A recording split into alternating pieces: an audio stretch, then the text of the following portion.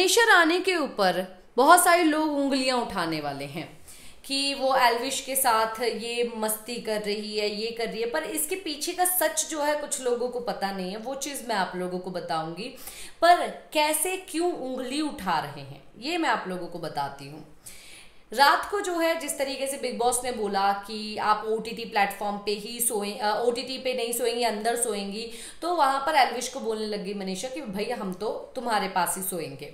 वहाँ पर अभी एलविश को तंग कर रही है एलविश के बेड पे सो सो रही है, काफ़ी सारी चीज़ें कर रही है मस्ती मज़ाक कर रही है तो हेटर्स ने बोला कि देखो, भाई, कितनी गंदी है ये।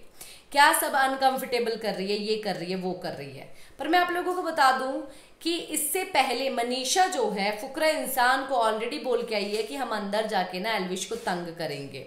उसकी टांग खींचेंगे, उसके साथ सोने के लिए बोलेंगे कि हमें तो उसी के साथ सोना है। तो फुकरा बोलता है, तुझे सोना तो कोई बात नहीं, सो जा ना उसके पास, उसके, उस, उसके बारे में मतलब वो क्या होता है? थोड़ी ना कुछ कुछ होता है। तो वहाँ पर मनीषा बोलती नहीं रे, पागल है क्या? अच्छा नहीं लगता, वो वाइब नहीं आती, वो कंफर्टेबल नहीं लगता मैं वैसे भी अकेले ही सोती हूँ। मुझे अकेले सोने की आदत है, मुझे नहीं किसी के साथ सोने की आदत है। और ऐसा कुछ नहीं है, बस मुझे उसको तंग करना है, उसका मस्ती मज़ा लेना है। तो यहाँ पर मज़ा लेने के लिए ये चीज़ें कर रही हैं, पर लोग उंगलियाँ उठाते हैं। अभी जो लोग उंगलियाँ उठा रहे हैं, अगर उसमें से भी एक बंदा भी ये वीडियो देख रहा है ना तो यार अगर आप में ज़मीर है ना तो एटलीस्ट जो बात मैंने बताई है, उसके बाद अपना पॉइंट ऑफ़ व्यू चेंज कर लेना। इसी के साथ मैं लेती हूँ, इजाज़त, नमस्कार।